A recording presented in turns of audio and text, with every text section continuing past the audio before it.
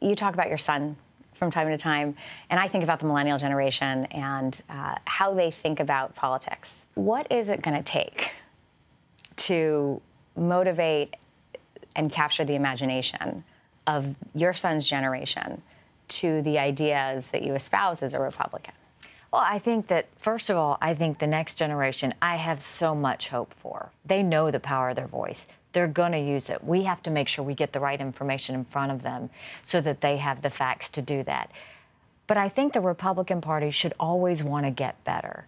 And I think in order for the Republican Party to get strong now, they have to go places that are uncomfortable to go. They have to talk to people they've never talked to before. And I think we need to start communicating differently. We need to really put ourselves out there and explain why we believe what we believe. But more importantly, before we say that, we need to listen to what they care about and then put our values with what they care about. And I see that in the younger generation that we do have this group of strong young Republicans that get it but we have to lift them up so they can go out and tell the rest of right. their friends as well. With all due respect, to borrow a phrase. Yes.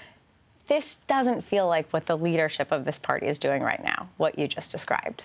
Well, I think that it should not be about one person. It should be about an entire group of people saying what we care about. And the bully and, pulpit of the presidency is the most important sort of speakerphone that we have. And that megaphone is not broadcasting the solution that you just outlined.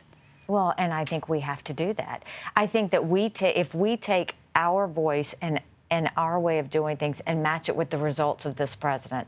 I think that's how we bring the Republican Party back in. You may not agree with his style, and I tell people that all the time. His style is not my style, but his results are my results. And so there is a way to come out of this where we can continue to have our values, but change the style and communication and the way we do that.